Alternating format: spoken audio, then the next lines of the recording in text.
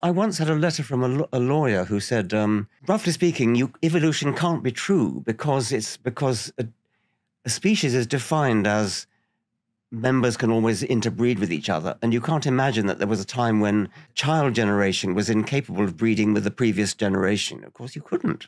But he thought that meant that somehow evolution was invalid. He couldn't grasp That everything fact- was specially created. yeah, Yeah. ev- everything is it, it's a gradual process all the way through, and and and as you step back through your ancestors, they become slightly less like a human, slightly less like a human, but you never notice it as mm. as you walk past them. If you imagine, I want to see a fish.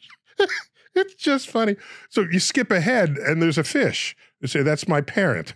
Yes. That's yes, it's a little freaky for but- people. but- but you gotta you- you gotta as you, appreciate as you walk along the generations, you'd never see you'd never see them them getting more fish-like. It would just be so so gradual. You would never notice it. because generations are only 30, 40 years, and we're talking billions. Yes.